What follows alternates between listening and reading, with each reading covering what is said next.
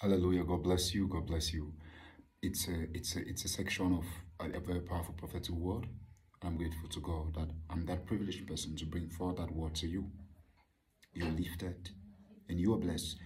I, I want you to understand that every time God begins to speak to you, the enemy is also trying to say something. So the enemy can confront your faith and attack your faith so you don't receive because you receive from God by faith and because God gives to us through the instrument of faith. The Bible says we are saved by grace, by, by grace through faith. And I want to take this very serious. This is a prophetic word.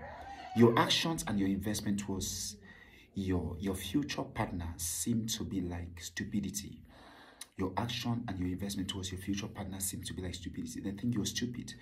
But I want you to understand that this is a word that is to keep you in whatever you're doing this season regarding your settlement. Don't allow those who are not convicted about what you're convicted about to talk you out of it.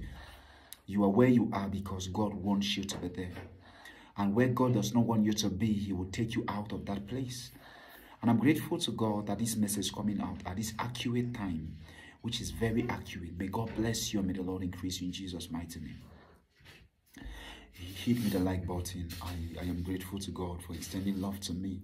Drop a beautiful comment and join you in prayer with whatever you're praying for. God bless you.